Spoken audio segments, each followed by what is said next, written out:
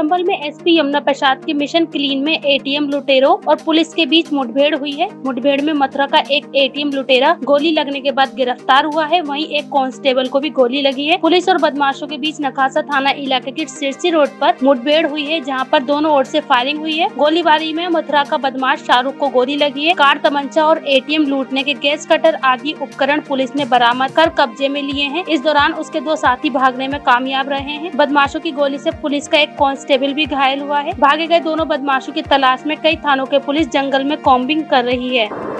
सिरसी बिलारी मार्ग पर पड़ने वाले एटीएम के पास में कुछ संदिग्ध लोग गाड़ी से आ रहे थे। वहाँ पे एटीएम में लूट करने के उद्देश्य से वो लोग आ रहे थे। इसमें इंस्पेक्टर ने खासा को सूचना मिली। उन्होंने घेराबंदी किया और उसमें रोकने जब गाड़ी वहाँ रुकी तो उसमें से एक अपराधी जो शाहरुख नाम का है उसको घेरने का प्रयास किया गया। तो उसने पुलिस पर फायर किया, जिसमें अपराधी घायल हुआ और अपराधी के साथ हमारा एक कांस्टेबल भी घायल हुआ। दोनों को हॉस्पिटल भेजा गया। इसके कुछ साथी और थे जो मौके से फरार हो गए। इन सभी की कॉम्बिंग की जा रही है और सभी की तलाश की जा रही है।